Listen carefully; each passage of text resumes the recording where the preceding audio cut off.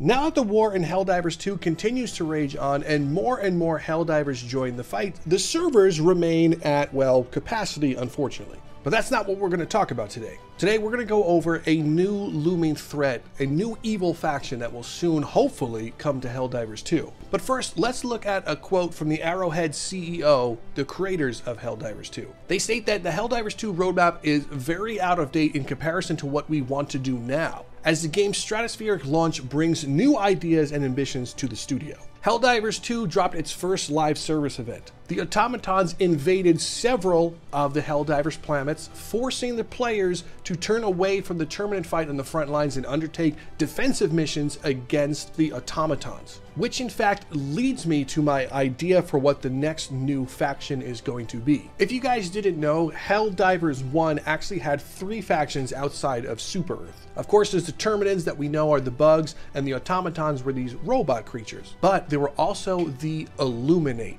and the Illuminate hopefully will be the next new enemy faction that currently comes into the Helldivers 2 universe for us to battle against. The Illuminate, highly sophisticated, their civilization has endured for several hundred thousands of years. They call themselves the Squith. Originally aquatic, these creatures dress in ceremonial robes and have managed to create a vast and extremely complex neural network for space travel. The species have since taken their first tentative steps towards the stars, producing weapons of mass destruction in a large scale of such, and something that the people of Super Earth cannot ignore. And after the events of Helldivers 1, the Helldivers were able to push back the Illuminate and, well, dismantle them and take their technology. That's why now in Helldivers 2 we have such powerful stratagems to call in. But what happened to the Illuminate? Well, according to the Helldivers lore, they weren't completely eradicated. They were just, well, dismantled. Similar to how World War II ended in normal Earth with America and Germany, the Illuminate are no longer able to have any type of military presence and pretty much are spread out now in the galaxy. But this is where I think the Illuminate can actually come back. Let's look at the automatons. The automatons just launched an attack against Super Earth and some of its outlier planets. And that made most of the Helldivers fighting against the Terminids to swap over and defend the planets. Yes, this will let the Terminids now grow in numbers, but we'll be able to get back to them. However, I think that this is a misdirected attack. While most of the Helldivers will focus on the defense of the planets, some of the other automatons will now go throughout part of the galaxy and try to find the Illuminate. The automatons are the ones that want to completely destroy Super Earth. So they're going to want to get more powerful weaponry from the Illuminate. Possibly the Illuminate have like manuscripts or some way to make this technology again. So while we fight back on the defense of our planets, the automatons will awaken the Illuminate once again. So let's go over the different enemy types and classes that the Illuminates can technically be. There are five categories according to the Helldivers wiki that existed in the first Helldivers. The first category will be Scout. Inside Scout, you have three subsects Observer, Watcher, and Obsidian Observer. The Observer basically looks like a robotic eyeball, and its goal is to just patrol and find the Helldivers and alert itself to its friends. So this scout unit has an advanced cloaking device which makes them near impossible to spot and is believed to be kept the Illuminate civilization under tight watch. These suppressing drones are also used on the battlefield to scout out enemy resistance, to which point they can teleport their more heavily armored warriors. So basically, in the gameplay, if this thing sees you, it's going to teleport enemies immediately to that location. So Helldivers must kill these things on sight. They're obviously not too strong. They basically would be like one of those crawling terminids. You shoot them and they die almost instantly. But basically, these things would be the equivalent of doing bug breaches. They would immediately signal in the air and enemies will be teleported to your location. It says that they are predominantly found on low to medium level planets. Observers patrol the battlefield while cloaked, following semi random patterns while searching for Helldivers. Their patrols are more densely clustered around mission objectives and they are also attracted to stratagem beacons. It also says that a melee attack or a single shot from any conventional type weapon can very easily destroy the observers. However, their cloaking ability and small size means Helldivers must be alert and accurate when fighting the Illuminate forces. And these observers will stay at a distance away from the Helldivers,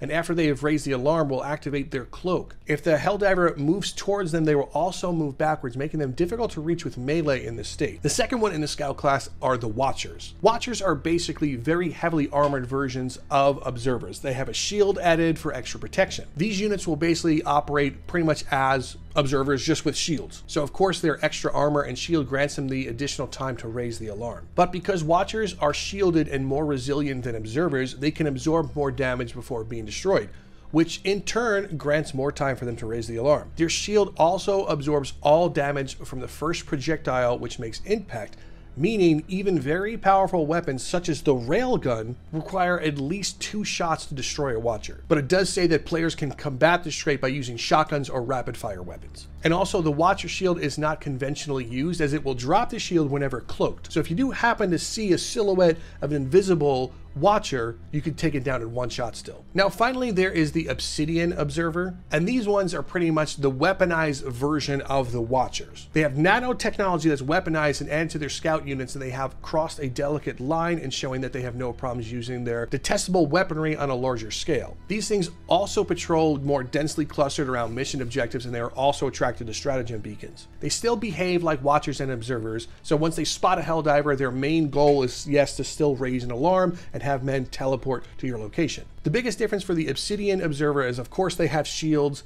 and they can raise an alarm, but they can also fight back. So moving away from the scout, let's go to the next category, which is the infantry category. The first one being the tripod. It's a three-legged fighting machine under Illuminate command. Tripods utilize electrostatic technology to subdue and moreover torture their victims. These robot units are somewhat of a wicked robot counterpart to their aquatic masters. These guys are predominantly found in lower level missions. The tripods teleport onto the battlefield normally in groups of three to five. So whenever an observer or watcher raises an alarm, these will be the first line of attack. But immediately upon spawning, tripods will move towards players to engage them in combat with their close range electrostatic weapons. And only a few shocks are enough to kill a Helldiver. The tripods are relatively slow and a few well-placed shots are usually enough to destroy them. However, their shield absorbs all damage from the first projectile on impact.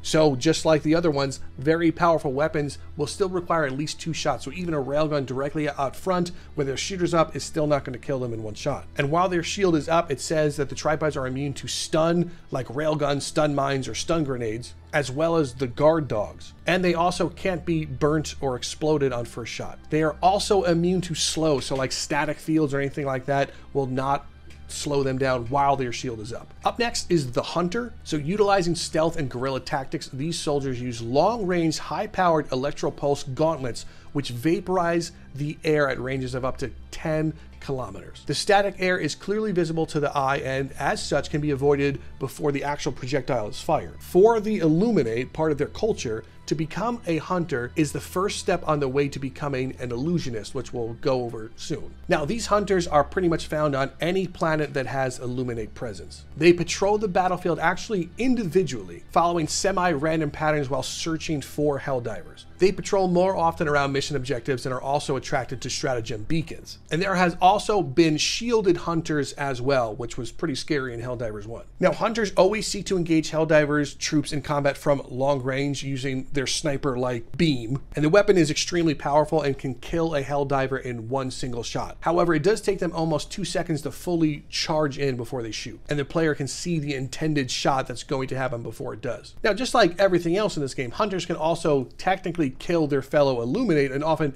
accidentally vaporizing them. But hunters can survive up to one blast from another hunter. So don't expect to hide behind them and let them get shot. However, it's still technically possible. Now, the good thing is hunters have no melee attack and will flee from Helldivers who get too close. So if you're looking to play with a shotgun or just running directly at them, that's going to make them, well, fear you. So if you have one Helldiver closing the gap while the other one is from a distance shooting them, that's the best way to take them out. Now, hunters are also extremely dangerous to your turrets and other types of deployable things that you could put out because they can shoot from beyond the turret's range. And it also shoots through things so they can kill multiple Helldivers and objective things in a single shot. Up next is the Apprentice. A little bit more about their lore. The Illuminate Society is believed to be based on knowledge, and individuals that have attained enough knowledge will eventually become an illusionist, and an apprentice role is the last step before that. So the apprentice are commonly found whenever the Illuminate attacks. So their nano abilities are dangerous and used to their targets before moving into melee range to slice up their enemies. And these guys are pretty much found on most Illuminate planets. So anytime there's an Illuminate presence, you're going to find these guys. So once they spawn in, apprentices will normally launch a projectile attack at the player,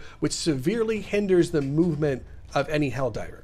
So this will allow the apprentice time to quickly enter close range combat and engage the players with their powerful melee. But the orbs that they launch can be shot and destroyed. The good thing is if you're using a shield generator pack, it does make the Helldivers immune to the slowing effects of the apprentice's projectiles. These guys are actually relatively a small target, but they move very fast, so players must be accurate when targeting them. They're kind of like those hunters from the Terminids, and they're only light armored, so you know you can dispatch them pretty easily. Then there's the outcasts. So outcasts are apprentices that try to attain knowledge but failed. They're shamed by their society for not being able to learn fast enough. Outcasts are forced to fight on the battlefields, draped in a cloaked field and properly armed with only melee weapons. They are the perfect example of how the Illuminate treats its own citizens, forced to fight and die for their lack of knowledge. These guys are also found on most planets with Illuminate presence. The Outcast also teleports into battle and normally in groups of one to three. So whenever there's an observer or watcher and they raise the alarm, you're going to find these guys. And also immediately upon spawning, outcasts will seek to enter close range and engage players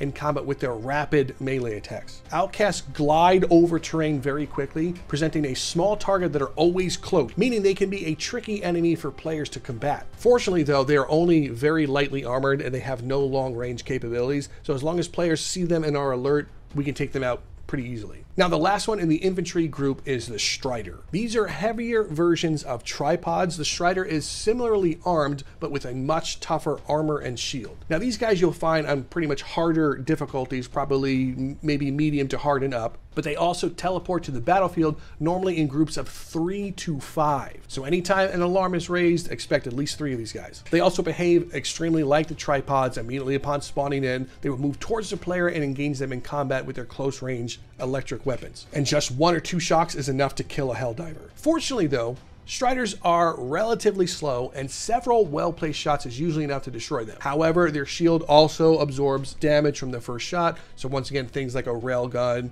a spear, anything like that won't be enough to kill them in one hit. Moving on to the third category is tank, and there's only one entry in tank, and that is an obelisk. The obelisk is a heavily armored and shielded dome capable of self teleportation and projecting a strong energy wall. The wall itself allows other illuminates to pass through but stops everything everything else. Fortunately, the obelisk exposes its core when projecting the wall, and the only defense remaining is its shield. So basically, you can have snipers camping behind this wall shooting at you, and you need someone to either snipe it from a distance and break that spot or close in past the wall and kill it. Now, these guys are also found on medium level plus planets. They also teleport into the battlefield alone though. But once they spawn in, they will immediately cast an energy wall at the nearest player or piece of equipment. And this is a powerful attack that will instantly kill or destroy anything in its path which happens to be moving through the path at the time. So think like if you're stationary or if you put a turret, it'll pretty much be destroyed or killed instantly. Now the wall also blocks player movement and weapons fire while still allowing the Illuminate forces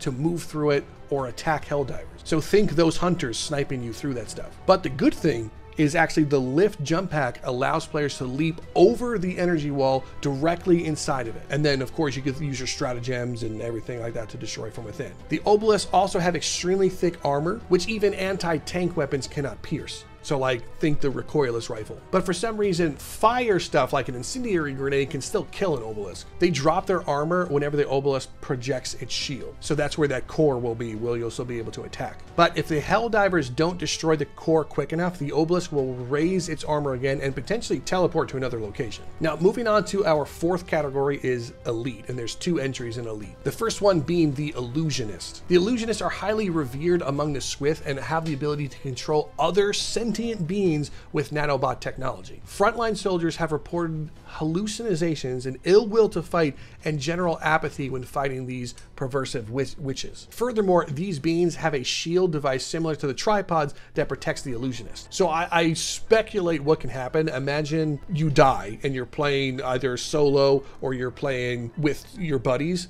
I wonder if the illusionist can raise a dead body of a helldiver, almost like a zombie, and they could fight against you as like a, a possessed helldiver. So these guys are also found on medium plus planets. The illusionists also teleport directly into the battlefield, but they do it alone. So once they do spawn in, they will engage players in combat by launching homing projectiles at them. And two or three of these projectiles are enough to kill a helldiver. And the orbs also detonate after a short time if they don't hit anything. And that will cause all players caught in the blast area to have their controls temporarily reversed So imagine you're trying to run forward and you're pressing W or holding the stick, and then you're hit by that, you're immediately walking backwards instead. And also, it completely messes you up when you're trying to enter stratagems. The good thing is the players can target the orbs with any type of weapon fire to get rid of them, but the projectiles tend to curve back if dodged. Illusionists can only withstand a moderate amount of punishment and are normally fairly slow. However, they will teleport out of the line of fire after receiving some damage, and their projectile attacks absorb some of the weapon fire intended for them. So this combined with their control reversal attacks can make them super dangerous and a resilient foe. As long as their shields are up, the illusionists are immune to things like slow effects, poison, or any type of incendiary and burning. However, though, incendiary weapons and stratagems will actually ignite the illusionists once their shields are depleted, preventing them from teleporting as long as they're burning. And the last one in the elite class is the council member. The absolute masters of the Illuminate race, council members are the ones holding their alien spaghetti like appendages and their appendages on the WMD trigger. They are very much like illusionists, but with political power and increased protection. So seeing them on the battlefield is like a treat. It's almost like destroying a general. These guys are found on higher difficulty type planets, and the council members will actually spawn very infrequently. They teleport into the battlefield alone anytime an observer or watcher raises an alarm. The council members look and behave very much like the illusionists, and just like the illusionists, it almost behaves the same way with the attacks. However, these guys have several other attacks one is a wide area of effect blast centered on the council member, which will also reverse the player's controls and have very lethal white orb, which can instantly kill an unshielded Helldiver. Council members can also only withstand like a very moderate amount of damage and are also fairly slow. However, they will teleport out of the line of fire after receiving some damage. And also, their projectiles can absorb some of the fire for them. And just like the other ones, they're also immune to things like slow, um, ignition from incendiary weapons and poison. However, once their shields are down and you're burning them with any type of incendiary, they are no longer able to teleport. Now, finally, is the last class, and that's called Master, and there's only one entry for that one, and that is called the Great Eye. So the intel suggests that the Illuminate Great Eye to be large AI creatures monitoring the Illuminate Society and correcting any discrepancies in behavior or even thought. The Great Eye is heavily armored and might even hold the keys for their WMD weapons, so it's imperative that these Great Eyes are taken out once the opportunity presents itself. So the Great Eye is usually found on special outlying planets. And based off of the first game, could have only been accessed after accumulating around 50 points of influence. So it would be interesting to see how these guys work in Helldivers 2. Maybe there'll be special missions and operations granted to us because it's a live service type game. Great Eyes are initially supported by several Striders which continually spawn for the majority of the time that you're fighting a Great Eye. And as the Great Eye's health starts to be depleted, some of the Striders are will be replaced by weaker ones like Apprentices and then Outcasts and then finally Illusionists. So the more damage you do to the Great Eye, the weaker the spawns are. However, unlike the Illusionists and Council members, the Great Eye will launch multiple homing projectiles at a time, so two or three, remember, can kill a Helldiver. The Great Eye will also launch batches of the same instantly lethal white orbs that were used by council members. It can sweep its laser cannon in a wide arc, which can also instantly kill a Helldiver, but that laser beam can actually be avoided just by laying down and going prone. And you can also jump over the beam with the jump pack. This thing has a ton of health and will require teamwork to take it down. So that's it for the Illuminate, and that's the breakdown of what they are and the types of enemies that we can hopefully be able to fight. And like I said in the beginning, I speculate that the automatons will reawaken the Illuminate as we try to battle back the automatons on defense. They're going to search out for the Illuminate, and we will soon see them attack us, probably from the northmost region. But who is to say all of this could just be Terminid propaganda? Sweet liberty! No!